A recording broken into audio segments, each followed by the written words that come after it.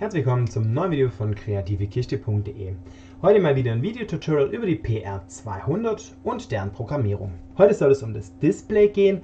Es soll darum gehen, wie man verschiedene Menüs programmieren kann. Ganz am Ende möchte ich mit euch eben da rauskommen, dass man mit äh, den Pfeiltasten eben hin und her schalten kann zwischen Menüs und zum Beispiel, wenn es eine Störung auftritt durch einen digitalen Eingang, den drücke ich jetzt mal, dass dann Störung im Display steht. Die Störung kann man jetzt eben nicht irgendwie umgehen, sondern man muss eben mit OK bestätigen. Liegt die Störung dauerhaft an, ich habe jetzt gerade den Taster gedrückt, dann kann ich nicht bestätigen. Erst wenn die Störung weg ist, kann ich eben mit OK bestätigen und bin wieder in meinem Menü drin. So, nicht erschrecken, ich muss jetzt manuell umschalten in meinem, meiner Videosoftware. So, wie funktioniert das Ganze? Erstmal grundsätzlich, wenn ich auf Gerätekonfiguration gehe und auf Display, kann ich hier eben wählen, was, wie lang mein Display an sein soll, eben immer aus oder halt die verschiedenen Zeiten. Ich persönlich habe jetzt gerade immer ein, weil ich eben fürs Tutorial das relativ geschickt finde. Helligkeit und Kontrast kann man auch einstellen. So, es gibt prinzipiell zwei Möglichkeiten. Ähm, ich gehe auf Ansicht und habe dann hier den Display Manager. Normalerweise ist er da oben links schon drin. Falls er nicht drin ist, eben auf Ansicht Display Manager. Wenn ich mit der Maus auf den Display Manager gehe, öffnet sich eben das Menü vom Display Manager. So, ich kann ganz grundsätzlich Gruppe und Form verändern. Wenn ich einen Doppelklick auf Form mache, öffnet sich eben mein Display, so wie es dargestellt wird. Brauche ich jetzt keine verschiedene Gruppen oder äh, verschiedene Menüs, sondern möchte einfach 2, 3, 4, 5 Zeilen haben, die ich eben mit dem Pfeiltasten hoch und runter bewege. Ist das relativ simpel. Ich gehe ähm, auf das Zeilen-Kontextmenü und sage Zeile oberhalb oder Zeile unterhalb einfügen. Äh, Display-Elemente sage ich im nächsten Tutorial was dazu. Ich nehme jetzt einfach mal ein Textfeld und nochmal ein Textfeld und nochmal ein Textfeld. Einfach, dass man das Menü nachher sieht beim Durchblättern. So, das ähm, erste Textfeld nenne ich eben mal 1. Das ist ein bisschen Fleißarbeit, müsst halt schön zuschauen. Das 2 und wer hätte es gedacht, das hier 3. Und das vierte Textfeld nenne ich eben die 4. Jetzt lade ich das Ganze mal hoch und wechsle kurz wieder zum Vollbild von der Kamera. Ähm, jetzt müsst ihr gleich hochgeladen haben, ihr seht es an der F2. Jetzt hat es eben hochgeladen. Jetzt kann ich ganz einfach mit meinem Pfeiltasten 2, 3, 4 und wenn ich da 5, 6, 7, 8 hätte und mit der anderen Pfeiltaste eben wieder hoch. So, also hätte ich jetzt mal verschiedene Seiten, also keine verschiedenen Menüs, sondern einfach verschiedene Seiten, wo ich eben 1, 2, 3, 4, 5, 6, 7, 8, 9, 10 machen könnte. Zum Beispiel Außentemperatur, Vorlauftemperatur, Rücklauftemperatur, Störungen oder sonst was. Also relativ simpel. So, ich gehe wieder zurück.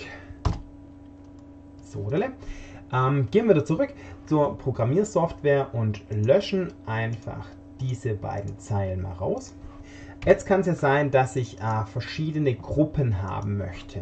Ähm, deswegen nennen wir das mal die Gruppe 1. Jetzt müssen wir hier ein bisschen länger ziehen, weil das Wort eben länger ist. So, äh, ich gehe dann mal zu meinem Display Manager gehe auf Gruppe, mache Rechtsklick und gehe auf Gruppe bearbeiten. Und jetzt sieht man schon, was passiert. Jetzt sehe ich nicht nur mein Display, sondern ähm, jetzt sehe ich das Display mit einem Viereck drumherum. Und jetzt kann ich eben mit dem X hier eine Form löschen oder eine neue hinzufügen. Das möchte ich jetzt mal machen. Jetzt sieht mir Form 1 und Form 2. Äh, wenn ich die jetzt bearbeiten will, die Form 2, mache ich einen Doppelklick. Dann öffnet sich hier oben wieder eine zweite Form. Ich nehme wieder ein Textfeld und nenne das ganze Ding hier einfach Gruppe 2. Muss es länger ziehen, dass man es sieht. So, jetzt habe ich einmal Form 1 und Form 2. Und in die Form 2 komme ich jetzt nicht einfach mit dem Pfeiltasten, sondern ähm, ich muss ihm oder ich muss im Programm sagen, wie ich da hinkomme. Das mache ich so, dass ich die Form auswähle und dann sieht mir rechts eine Sprungliste zu Display Form. Da klicke ich rein, diese drei Punkte hinten, klicke die an und dann sieht man schon, was passiert. Ich möchte zu was? Zu Form 2 wechseln und sage, wenn Alt und Down, also wenn die Alt-Taste und die Runter-Taste gedrückt wird, dann komme ich da hin und bestätige das Ganze mit OK. Jetzt erscheint hier meine äh, PR200, denke ich zumindest, dass es was sein soll, und einem Pfeil in diese Richtung. Wenn ich jetzt auf Form 1 klicke, dann sieht man eben hier zu Display Form 2, was da passiert. Wenn ich es genau wissen will, muss ich eben auf die drei Punkte klicken. Jetzt sieht man hier Alt und Down. Jetzt würde ich aber nur hier reinkommen und sonst würde gar nichts passieren. Das heißt, ich muss auf die Form 2 klicken. Oh, Entschuldigung, das war ein Doppelklick. Auf die Form 2 klicken. Jetzt, also genau, wenn es manchmal nicht da ist, sondern nur was drin steht, muss man noch hinklicken, dann ist wieder da. So, ähm, jetzt gehe ich hier wieder hin. Ich möchte jetzt zur Form 1 und sage eben wieder bei Alt und Down. Ich könnte sagen auch Alt und Up. Ich mache es jetzt eben endlos, also wenn ich Alt und Down klicke, würde ich eben hinkommen. Man könnte auch mit Alt und Up eben sagen, dass man es wechseln muss. Ich mache jetzt mal Alt und Down, bestätige das Ganze, jetzt sieht man, das ist ein Kreislauf, das heißt, das wird funktionieren. Gehe zu meinem Hauptprogramm und lade das Ganze hoch. Während ich hochlade, gehe ich mal kurz zur Szene 3, Sodle. Dann sieht man F2, er hat es gleich hochgeladen. Jetzt sieht man hier eben Gruppe 1. Jetzt komme ich eben mit den Pfeiltasten nicht hin und könnte jetzt eben mit Alt und Down die verschiedenen Gruppen durchwechseln. Hat den Sinn, ähm, ich könnte jetzt natürlich, ich gehe mal wieder zurück. Ah, jetzt müsste man da sein, jawohl. Ähm, jetzt könnte ich natürlich der Gruppe 1, äh, der Displayform 1, könnte ich jetzt ganz viele Zeilen hinzufügen. Ähm, so könnte ich sagen, Gruppe 1 sind alle Werte von Anlage 1. Die Form 2 sind alle Werte von Anlagen 2. Oder ist Motor 1, Motor 2. Ihr wisst Bescheid. Also wirklich total simpel, total easy aufgebaut. So, jetzt füge ich dem Ganzen nochmal eine Form zu. Klickt es an mit einem Doppelklick und nehme wieder ein Textfeld, damit man es eben unterscheiden kann von den beiden anderen.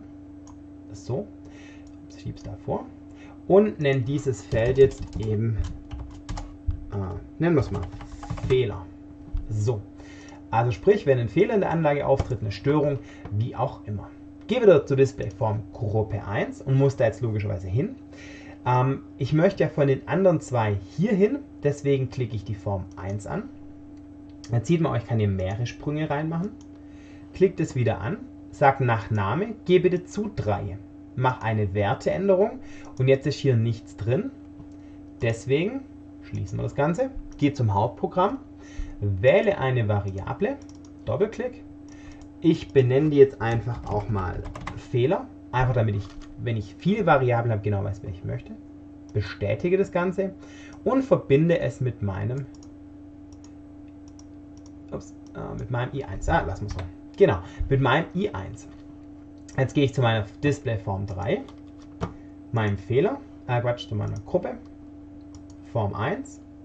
Jetzt seht ihr, jetzt wird es gerade nicht angezeigt, deswegen klicken wir es noch einmal rein. Bin also bei Form 1 und sage jetzt, geh zu Form 3 nach einer Werteänderung von der Variablen Fehler. Bestätige das Ganze. Jetzt sieht man, dass das passiert. Jetzt klicke ich die Form 2 an, muss das hier auch nochmal sagen. Gehe jetzt bitte auch zur Form 3, eine Werteänderung und wieder die Variable Fehler. Ich kann die jetzt öfters auswählen, bestätige das Ganze. Jetzt sieht man also diese beiden hier, die ähm, mit Alt und runter, Down und die zweite Bedingung eben bei einem Fehler. Jetzt würde natürlich bei einer Störung, nachdem die auch weg ist, immer die Form 3 bleiben. Das heißt, ich muss jetzt sagen, die Form 3 habe ich jetzt einfach gemacht bei ähm, einem Geräteereignis, gehe zu Form 1, wenn die, wir können auch Alt und OK machen, ich habe jetzt einfach OK gemacht, wenn die OK-Taste gedrückt wird. Ähm, denn nach dem Reset möchte ich ja nicht zu 2 oder irgendwas, sondern ich möchte direkt ähm, zu meinem Startbildschirm. So, mit der STRG-Taste und der Maus kann ich das auch kleiner und größer machen. Ich kann aber auch sagen, ähm, die Originalgröße. Sprich, wenn ich jetzt hier das auswähle, kann ich das nicht groß machen und kann sagen, ich habe eine Originalgröße. Also so groß ist es dann ähm, jetzt gut zu sehen. So, wir waren aber bei der Displaygruppe. Ich mache es mal größer. Jetzt sieht man auch ein bisschen besser, was passiert. Eben Gruppe 1, Gruppe 2, Fehler.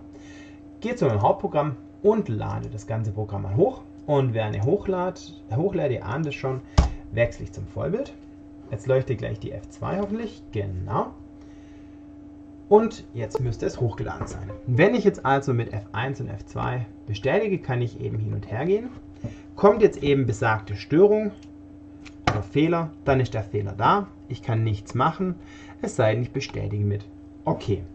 Ähm, wenn der Taste jetzt hier äh, gedrückt ist, dauerhaft gedrückt ist, dann kann ich eben nichts machen, weil die Bedingung ja immer erfüllt ist. Also das Ereignis ist noch erfüllt.